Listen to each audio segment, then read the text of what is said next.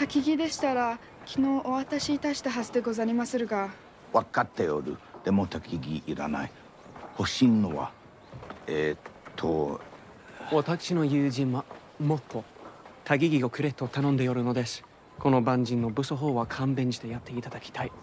Thank you. Your kind attempt at translation, father. Alas, you are wrong. 炭欲しい炭の方が温かい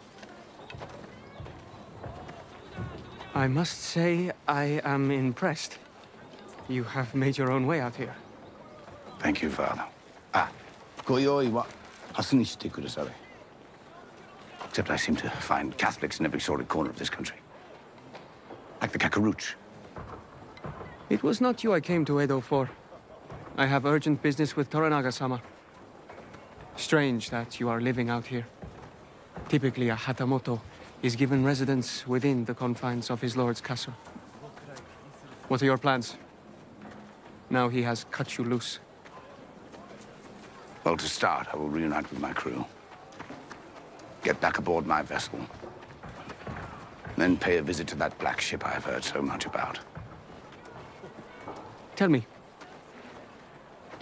will you wear those clothes when you see your men? Ah, yes. yes, I intend to. Thank you, Father.